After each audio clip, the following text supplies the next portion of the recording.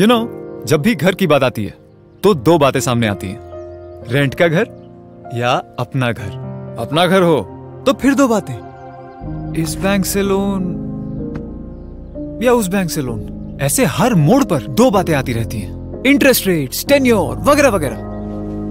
फिर मेरी इन दो बातों पर फुल स्टॉप लग गया, जब मुझे यूनियन बैंक से हैसल फ्री लोन मिला। और दो बातें एक हो गई जब यूनियन बैंक ने मुझे प्रॉपर्टी चूज़ करने में हेल्प कर दी यूनियन होम लोन। अब दो बातें नहीं। राज हाँ? मैं सलवार सूट पहनूं या जम सूट?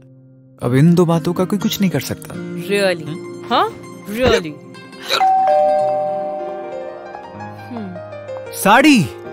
हे यादी! अब दो बातें? नहीं। Hassle free Union home loan. Union Bank of India अच्छे लोग अच्छा बैंक।